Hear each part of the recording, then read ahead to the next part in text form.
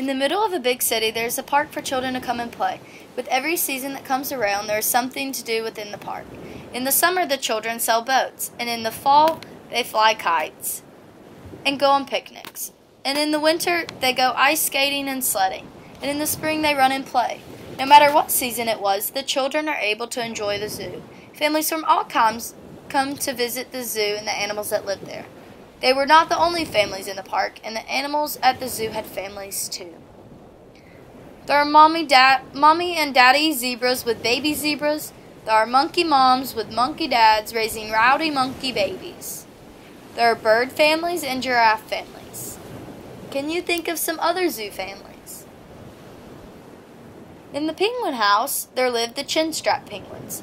Every year at the same time, girl and boy penguins find the right one for them. They look and look until they meet a very special penguin. Two of these penguins were very different than the other penguins. Roy and Silo were both boy penguins. They did everything together, whether it be walking or swimming. They had so much fun being together. One day, Roy and Silo noticed other penguins building homes, so they decided to build one too. Every night, Roy and Silo slept together just as all the other penguin couples did.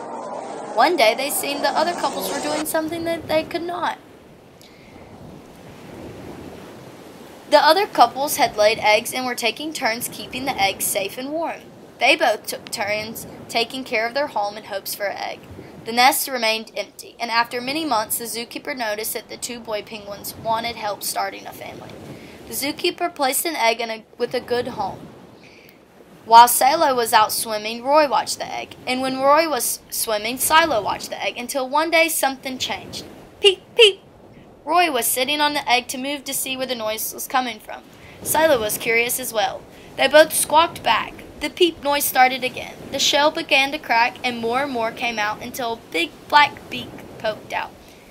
Her name was Tango, because it takes two to tango. Roy and Silo taught Tango many things. She could sing when she was hungry, and they snuggled her in the nest at night.